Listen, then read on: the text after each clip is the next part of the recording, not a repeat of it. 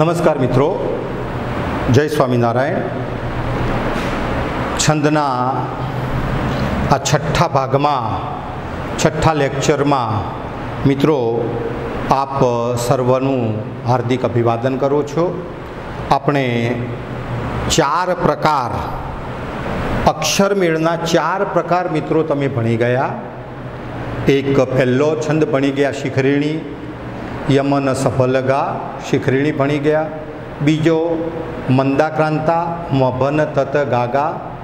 ત્રીજો અનુષ્ટોપ અને ચોથો મનહર. હવે આપણા અક્ષરમેળ છંદમાંથી આપણે હવે માત્રામેળ છંદ તરફ આવી રહ્યા છીએ અને આપણા પાઠ્યપુસ્તકમાં, આપણા કોર્સમાં ગુજરાતી વ્યાકરણ અને છંદ વિભાગમાં આપણે બે માત્રામેળ છંદ ભણવાના છે. અને માત્રામેળ છંદ એ અક્ષરમેળ છંદ કરતાં ઘણા બધા સરળ છે, ઘણા બધા સહેલા છે. એની થોડીક એના સમીકરણો અર્થાત એની જે લખવાની રીત રસમ જે, જેમ તમે અક્ષરમેળ છંદમાં આપેલી પંક્તિને તમે ત્રણ ત્રણના સમૂહમાં વિભાજિત કરતા હતા, લઘુ અક્ષર ઉપર તમે લઘુની યુની નિશાની કરતા હતા, ગુરુ અક્ષર ઉપર તમે ડેશ લીટીની નિશાની કરતા હતા. જ્યારે અહીંયા આપણે એવું કરવાનું નથી. તમે લોકોએ ચોપડીઓમાં જોયું છે કે આ છંદમાં આ ચાર જ વસ્તુ આપણે ભણવાની થાય છે. ચાર જ વસ્તુ આપણે ભણવાની થાય છે. એમાંથી તમે આ બે વસ્તુ ભણી ચૂક્યા છો. લઘુ અક્ષર ઉપર તમે યુ કરતા હતા, ગુરુ અક્ષર ઉપર તમે ડેશ કરતા હતા.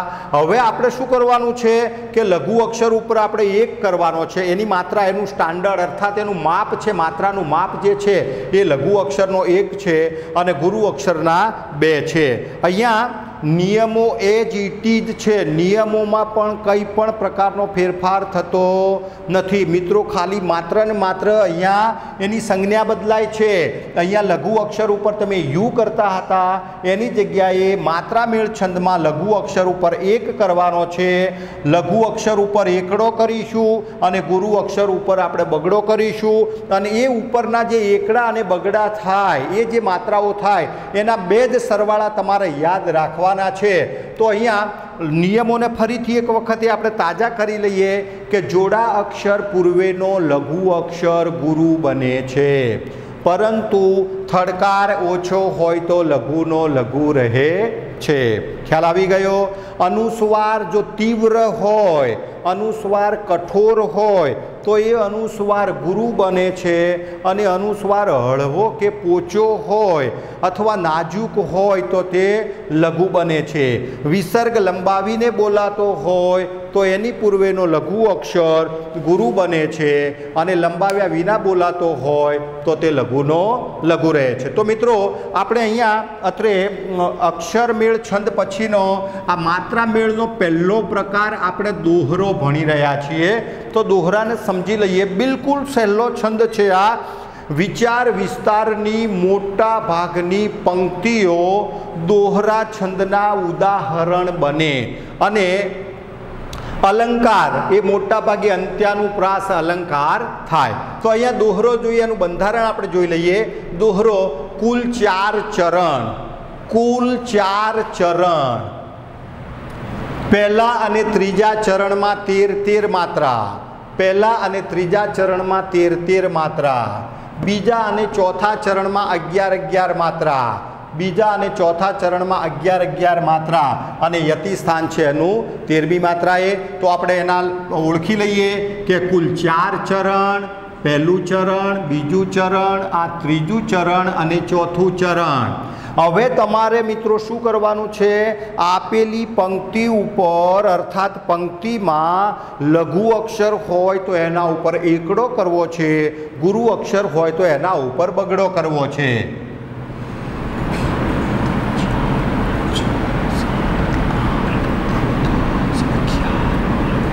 અને તેર. તેર ચરણના અંતે તેરનો સરવાળો કરી દેવાનો. હવે કેટલી માત્રા થવી જોઈએ? અગિયાર.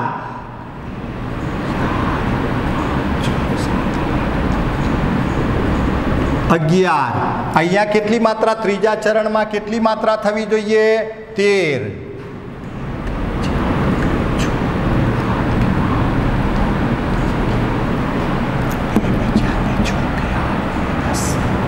ત્રણ તેર. હવે કેટલી થવી જોઈએ? અગિયાર.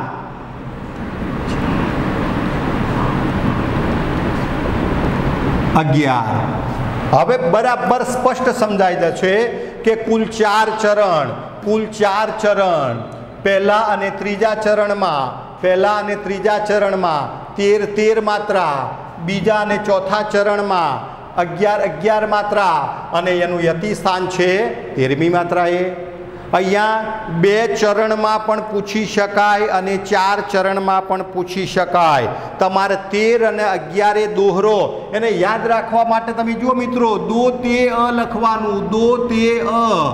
દો એટલે દોહરો, તેર એટલે તેર અને અ એટલે અગિયાર. દો તે પહેલા ચરણમાં તેર માત્રા, બીજા ચરણમાં અગિયાર માત્રા, ત્યારે દોહરો બને.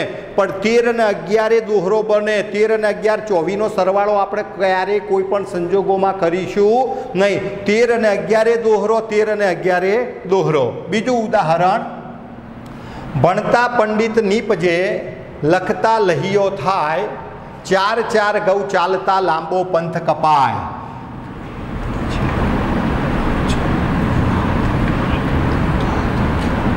તેર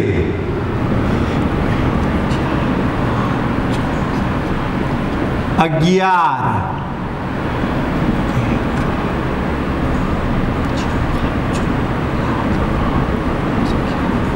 તેર અને અગિયાર તેર અને અગિયાર તેર અને અગિયાર ત્રીજું ઉદાહરણ જોઈએ, કરતા જાળ કરોળિયો હોય પડી ગભરાય, વણ તૂટેલે તાંતણે ઉપર ચડવા જાય. અને તેર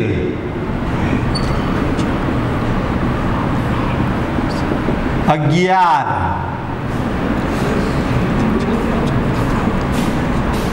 તેર.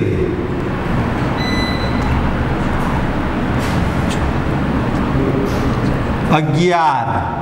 તો તેર અને અગિયાર. તેર અને અગિયારે દોહરો. એના પછીનું ઉદાહરણ છે મિત્રો.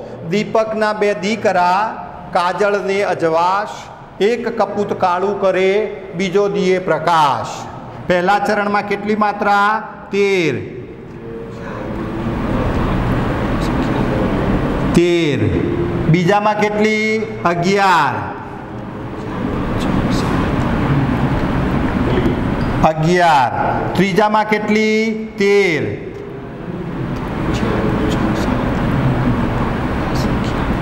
તેર. ચોથામાં કેટલી? અગિયાર. તેર અગિયારે દોહરો. એના પછીનું છેલ્લું ઉદાહરણ મિત્રો જોઈ લઈએ આપણે કે બળની વાતો બહુ કરે કરે બુદ્ધિના ખેલ, આપદ કાળે જાણીએ કે તલમાં કેટલું તેલ. પહેલા ચરણમાં કેટલી માત્રા થવી જોઈએ? તેર. તેર.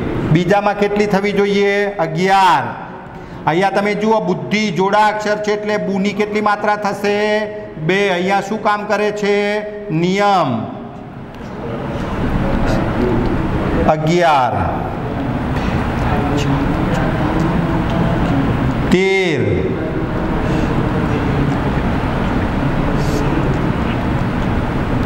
અગિયાર. તો અહીંયા દોહરો ક્યારે બને છે? કુલ ચાર ચરણ. પહેલા અને ત્રીજા ચરણમાં કેટલી કેટલી માત્રા? પહેલા અને ત્રીજા ચરણમાં તેર તેર માત્રા. બીજા અને ચોથા ચરણમાં કેટલી કેટલી માત્રા? અગિયાર માત્રા. તમારે દોહરાને યાદ રાખવા માટે શું યાદ રાખવાનું છે? દો, તે, અ. દો એટલે દોહરો. પહેલા ચરણમાં તેર માત્રા, બીજા ચરણમાં અગિયાર માત્રા. કુલ માત્રા કોઈ પણ સંજોગોમાં આપણે ધ્યાનમાં રાખીશું નહીં કે ભાઈ ચલો પહેલાં બે ચરણની ચોવીસ માત્રા અને બીજા બે ચરણની ચોવીસ માત્રા એટલે અડતાલીસ માત્રા. એમ નહીં, આપણે તો તેર અને અગિયારને જ યાદ રાખવાનું છે. તો દો તે અ, તેર અને અગિયારે દોહરો બને, તેર અને અગિયારે દોહરો બને. ખ્યાલ આવી ગયો? એના પછીનો છેલ્લો છંદનો પ્રકાર છે મિત્રો આપણો ચોપાઈ. ચોપાઈ બિલકુલ ખૂબ જાણીતો છંદ છે અને ખૂબ સરળ છંદ છે. તો ચોપાઈ છંદ ક્યારે બને? એની પહેલી ઓળખ કરી લઈએ આપણે. ચોપાઈ કુલ ચાર ચરણ. દરેક ચરણમાં પંદર પંદર માત્રા. અને એનું યતિ સ્થાન છે પંદરમી માત્રા એ ખાસ યાદ રાખીશું આપણે, ખૂબ જાણીતું ઉદાહરણ છે લાંબા જોડે ટૂંકો જાય, મરે નહીં તો માંદો થાય. લાંબા જોડે ટૂંકો જાય, મરે નહીં તો માંદો થાય. કાળી ધોળી રાતી ગાય. કાળી ધોળી રાતી ગાય. પીવે પાણી. ચરવા જાય. ચાર પગોને આંચળ ચાર.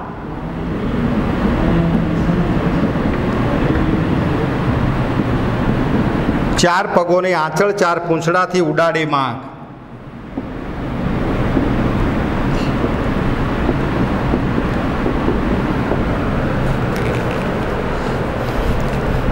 આકાશે તારાની ભાત.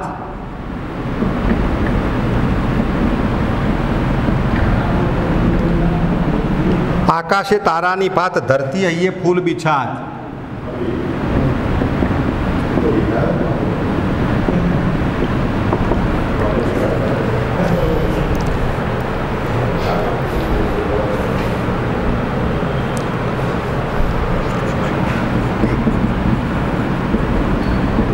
જોજો રે મોટા ના બોલ ઉજ્જડ ખેડે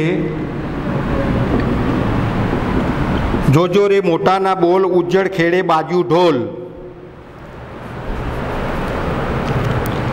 શિયાળે શિયાળે શીતળ વાયુ વાય. શિયાળે શીતળ વાયુ વાય પાન ખરે ઘઉં પેદા થાય.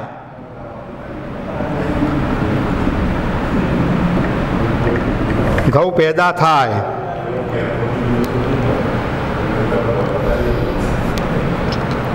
આ સુની સુની રાતમાં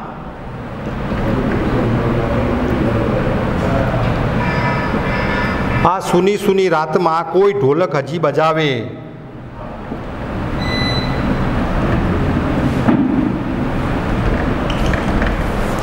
મિત્રો, બહુ સરળતાથી આપણે જેમ દોહરાની માત્રાઓ મૂકી, એમ આની માત્રાઓ મૂકવાની છે. ફરીથી આને સમજી લઈએ કે કુલ ચાર ચરણ. પહેલું ચરણ, બીજું ચરણ, ત્રીજું ચરણ અને ચોથું ચરણ કુલ ચાર ચરણ. દરેક ચરણમાં પંદર પંદર માત્રા થવી જોઈએ અને યતિસ્થાન એનું છે કેટલામી માત્રા એ પંદરમી માત્રા એ આવે છે. જો અહીંયા ચૌદ, એક, પંદર.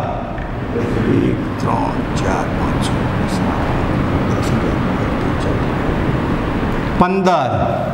પંદર માત્રા. પહેલા ચરણમાં પણ પંદર માત્રા, બીજા ચરણમાં પણ પંદર માત્રા, ત્રીજા ચરણમાં પણ પંદર માત્રા અને ચોથા ચરણમાં પણ પંદર માત્રા. ટૂંકમાં આપણે ચોપાઈને યાદ કઈ રીતે રાખવો છે? પંદર પંદર પંદર પંદર. મિત્રો, ખાસ યાદ રાખજો. સૌથી વધારે એક ચરણમાં પૂછાતો છંદ છે આ. એક ચરણમાં પૂછાય તો પંદર માત્રા, બે ચરણમાં પૂછાય તો ત્રીસ યાદ નહીં રાખવાની, બીજા ચરણની પણ પંદર માત્રા અને ચાર ચરણમાં પૂછાય તો સાઠ માત્રા યાદ નહીં રાખવાની, પણ પંદર પંદર પંદર અને પંદર. પંદરે પણ ચોપાઈ, પંદર રે પણ ચોપાઈ, પંદર રે પણ ચોપાઈ અને પંદરે પણ ચોપાઈ. બીજું ઉદાહરણ, કાળી ધોળી રાતી ગાય પીવે પાણી ચરવા જાય.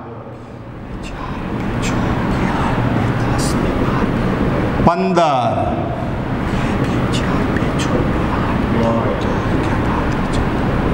પંદર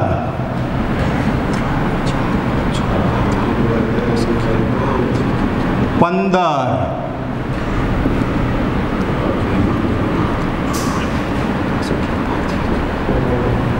પંદરે પણ ચોપાઈ દરેક ચરણમાં પંદર પંદર માત્રા આવે મિત્રો. આ માત્રા શેના આધારે મૂકીએ છીએ ફરીથી યાદ દેવડાવું છું તમને કે લઘુ અક્ષર હોય, એની એક માત્રા, ગુરુ અક્ષર હોય, એની બે માત્રા. લઘુ અક્ષર કોને કહેવાય? તમે ભણી ગયા છો છંદના ઘણા બધા પ્રકાર પણ તમે હસ્તગત કરી લીધા છે કે જેમાં રસ્વ સ્વર ભળેલા હોય, તે લઘુ અક્ષર, જેમાં દીર્ઘ સ્વર ભળેલા હોય, તે ગુરુ અક્ષર. એના પછીનું ઉદાહરણ છે, આકાશે તારાની ભાત ધરતી હૈયે ફૂલ બિછાન.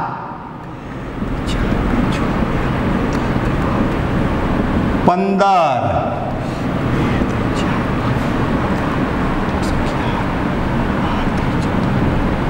પંદર. એના પછીનું ઉદાહરણ છે, જોજો રે મોટાના બોલ, ઉજળ ખેડે બાજુ ઢોલ. પંદર માત્રા. અહીંયા જોડા અક્ષર પૂર્વેનો લઘુ અક્ષર ગુરુ એટલે બે માત્રા.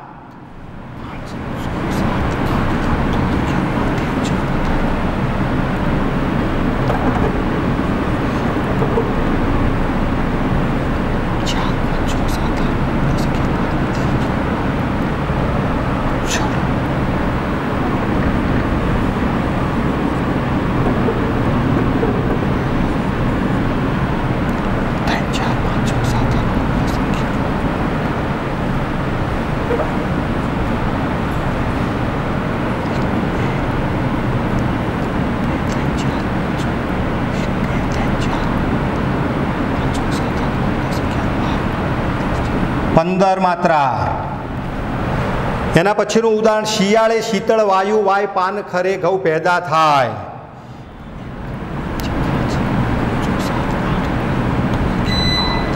પંદર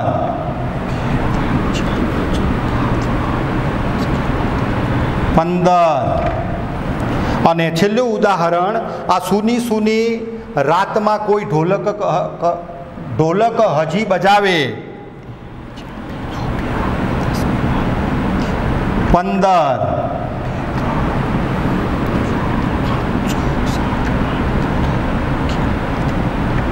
અને પંદર. તો અહીંયા મિત્રો આપણે છંદને બહુ સરળતાથી આપણે પૂરા કર્યા છે અને વિશ્વાસ રાખું કે તમને છંદમાં ખૂબ સારી સમજણ પડી હશે. તમે તમારી વ્યાકરણની નોટબુકમાં દરેક છંદના પાંચ પાંચ સાત સાત ઉદાહરણ પ્રેક્ટિસ કરજો, જેથી કરીને તમને ખૂબ સરળતાથી છંદ આવડે અને પરીક્ષામાં આપણને બે માર્કના છંદ ફરજિયાત પૂછાતા હોય છે. ફરીથી ચોપાઈ છંદની વાત કરી લઉં. મિત્રો, કે કુલ ચાર ચરણ, દરેક ચરણમાં પંદર પંદર અક્ષર અને એનું યતિ સ્થાન છે, એ પંદરમી માત્રાએ છે. આપણે આ એક ચરણમાં પણ પૂછાય, બે ચરણમાં પણ મિત્રો પૂછાય છે અને ચાર ચરણમાં પણ આ છંદ પૂછાતો હોય છે. પણ મોટાભાગે પરીક્ષામાં એક ચરણમાં પૂછાતો છંદ છે.